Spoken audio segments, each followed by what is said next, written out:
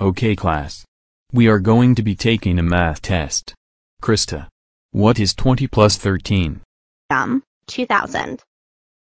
Krista that was not the right answer and why did you bring the neuralizer? Because I want to erase people's memories after class. That's it. Go to the principal's office right now.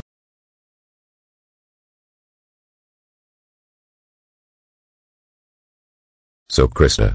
Why are you here? I got my math answer incorrect and I brought an neuralizer to school. Krista. You know we don't bring illegal weapons or gadgets from men in black to school. That's it, you're suspended for 90 months. Go home now. Krista how dare you bring my neuralizer to school. That's it. You are grounded grounded grounded grounded grounded grounded grounded grounded for 120 weeks. Go to bed right now.